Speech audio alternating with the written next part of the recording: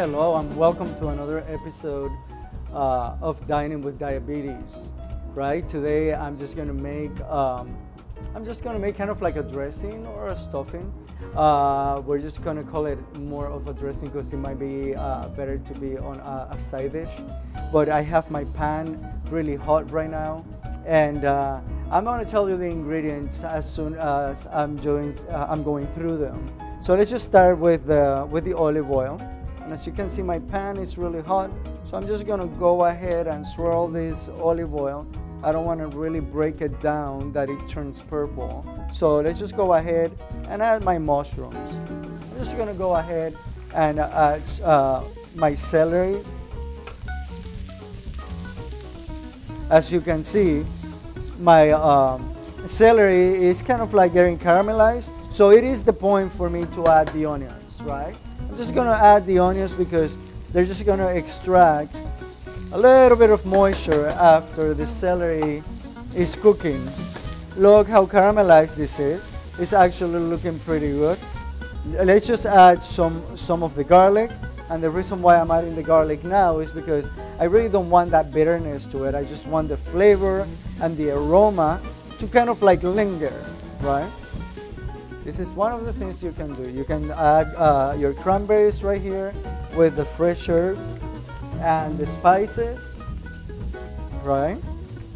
Oh, and that's just gonna give such a nice, nice flavor to it as you can see.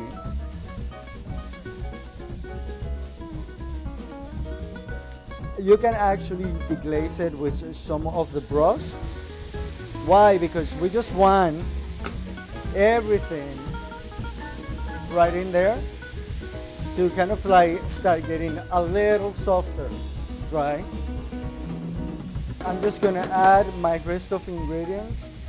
This is uh, my butternut squash, and remember it looks a little darker, and it's because of the balsamic vinegar and the caramel caramelization in it, right? So now we're just gonna incorporate the farro, right? Which I have cooked already and cool it down. So here what I'm going to do for you is just bring it to temperature, right? The reason why, how I'm going to do that is by adding the chicken broth. And on now, before we kind of like deglaze with the broth, you can use some wine if you want to. Um, but right now we're just using broth and if you want this dish to be completely vegetarian, you can definitely omit the organic chicken broth and you can just use uh, vegetable broth, right? So the beauty of it is like, now I'm just gonna add my, my cup of liquid. This is what's going to actually make it very nice, you know, and softer. The grain is just gonna come back to the right temperature. Uh, if you can see, the grains right there, they're still whole. They would open, they would, they're going to absorb a lot of liquid. Uh, they're still going to have a bite to them. They kind of like, they have some chewiness to it, which is actually really nice, but it doesn't really become pasty, you know? And that's why you have to be kind of like conscientious about. And uh, we're just going to add just a sprinkle of um, Italian parsley and the other thing that we're definitely going to fall right now is just going to be the kale. I just steamed it and then I just put it in the fridge so it cooled down and it actually kept that beautiful green color in it.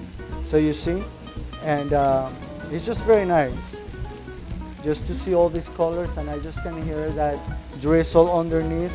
So I'm just gonna go ahead and add, uh, just because I have enough spices in there, I'm just gonna add the rest of my chicken broth. Let's just bring that temperature low and let's just fold everything in because the temperatures, they actually rise and this is more than 165. So you see the colors, how they start incorporating and uh, they're actually looking pretty nice.